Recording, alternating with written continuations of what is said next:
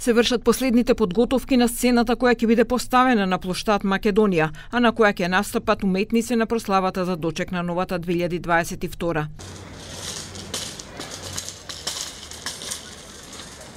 Новогодишна еуфорија владееше и преку ден. Бројни граѓани излегоа со нивните деца за да го почувствуваат празничниот дух. Забавната програма ќе почне во 20 часот. Edhe këtë vit festa kryesore e fund vitit do të jetë në Sheshin, Maqedonia.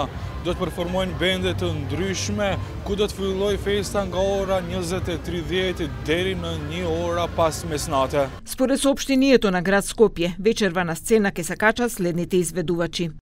Од 20.30 до 21.30 Пука козметика, од 21.30 до 22.30 ДНК, од 22.30 до 23.30 Бени и Нон-стоп, од 23.30 до 0 часот и 30 минути нокаут, од 0 часот и 30 минути до 1 часот по полној Наум Петрески и Зуица Лазова. Од град Скопје вела дека програмата се организира со помош на три приватни компании. Преку новогодишна порака, вчера Министерот за внатрешни работи ги повика граѓаните да прослават одговорно, водејки сметка за своето и здравјето на нивните блиски.